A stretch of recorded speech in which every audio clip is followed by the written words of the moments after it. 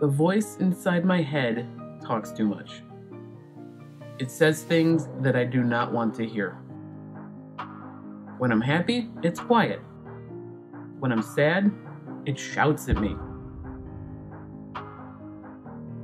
Here's all the reasons you deserve to be sad. Let's go over them again so you don't forget. I need to learn to quiet the voice inside my head. It reminds me of everything I'm doing wrong with my life, even when I'm doing things right. The voice inside my head is not who I want to be. I'm sad all the time. The voice tells me I'm sad, and I believe it. I have no reason to be sad, but the voice inside my head does not listen. It gets louder. Here's why you're wrong. Here's all the reasons you deserve to be sad. Let's go over them again so you don't forget. Even when your life is going great, there's always something that reminds you of when it was bad. When the voice inside your head does this, think about it. Think about how far you've come.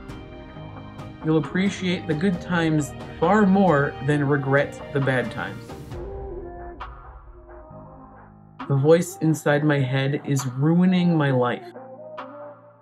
Things that make me happy are only interrupting my sadness. I know I should be happy, but the voice inside my head does not let me. What's wrong now? Nothing. And everything. It is possible to be sad for no reason. Some people don't understand that. The voice inside our heads gives us reasons to be sad, but they're all wrong. Think, why am I sad? not what am I sad about. There is a huge difference. Here's why you're wrong, I tell the voice inside my head. Here's all the reasons why I'm happy. Let's go over them again so I don't forget. The voice inside my head is a little quieter now, though it will never go away. It waits for me to be sad. It distracts me from my happiness.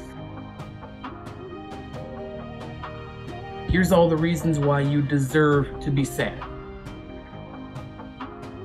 No, no need to remind me. I didn't forget.